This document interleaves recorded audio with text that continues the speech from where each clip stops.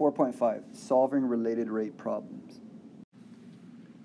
The top of a 10-foot ladder is sliding up a vertical wall at a constant rate of 2 feet per second.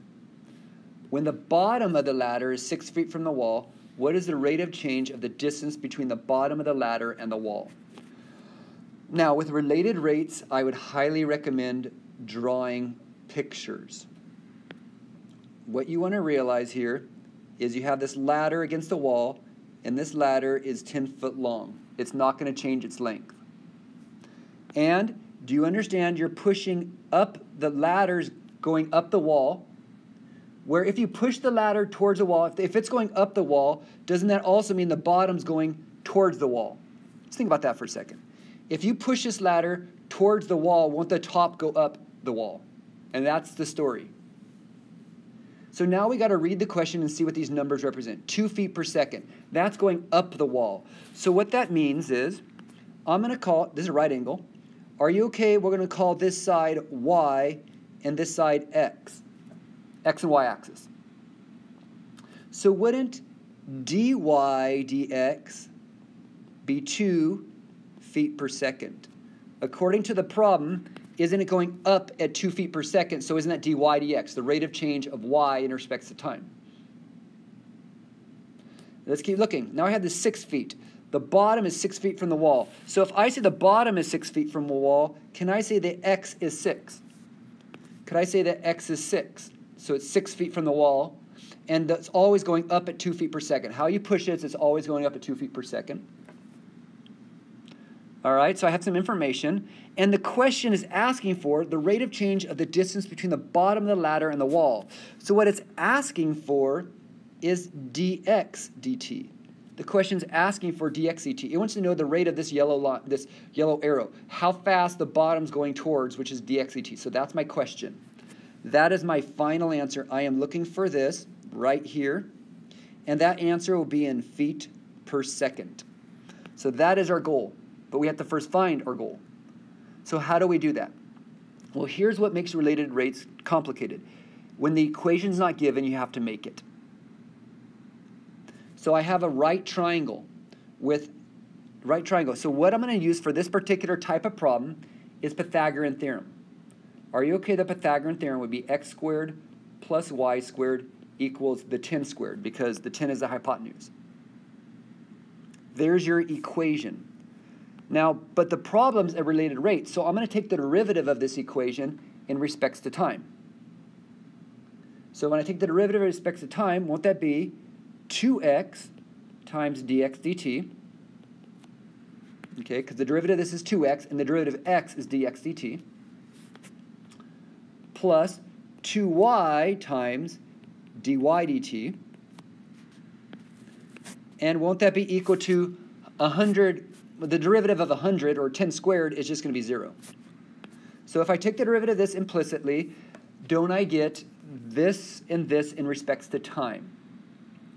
So, could I simply take the values and start plugging them in? Yeah, watch what happens. When I start taking my values and plugging them in, okay, let's see what we get here.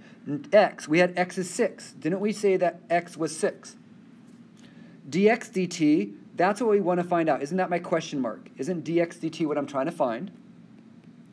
Times 2 times, I don't know why. Okay, I don't know why, but I'm going to get it here in a second. dy dt, we know is 2. Now, you might wonder, where did I get that? Well, isn't dy dt 2? Doesn't we say it right here? Doesn't x equal 6 and dy dt is 2? So all I need here is y, and could I solve for dx dt? If I know what y is, could I solve for dx dt, which we're trying to find? So how do you find y? Well, could you go back to this equation and plug 6 back in? If x is 6, could you go back to this equation and solve it? Watch. Yeah, you can.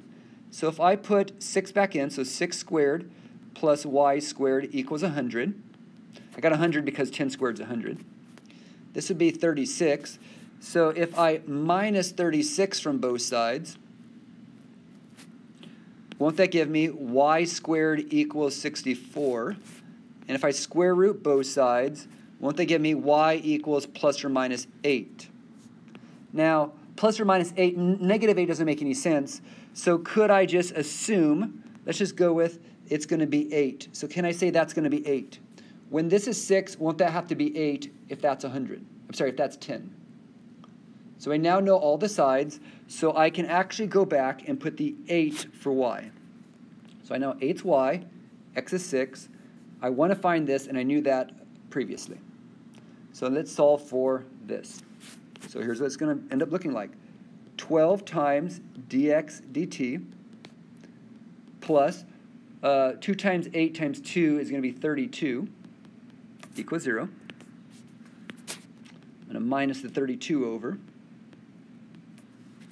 So I have 12 dx dt is equal to negative 32. I'm going to divide by 12, and I get dx dt is equal to negative 32 over 12. Well, 4 goes into both of those. So if 4 goes into both of those, won't that be 8 thirds? So won't that be negative 8 thirds feet per second? Now, I do want to highlight something. You might wonder, why is it negative? Well, isn't the distance of the bottom of the ladder getting smaller as you get closer to the wall? Do you see why that's negative? Negative is getting smaller. The values are getting smaller. The feet are getting smaller, so it's a negative feet per second. Because it's causing a decay. It's causing a decrease in foot, feet. Where here, isn't it going up? Isn't it going up, so isn't that a positive 2? Now, if I change this problem, what if I said it was going down by 2 feet per second? I'd put a negative 2 there. If the top was going down by 2 feet per second, I put a negative 2 there, and this would be going out, causing this answer to be a positive. Because this would be going out farther away, and this would be going down. So you have to be careful with wording on problems, because depending on the direction and the logic of it, you have to be careful with those kind of things.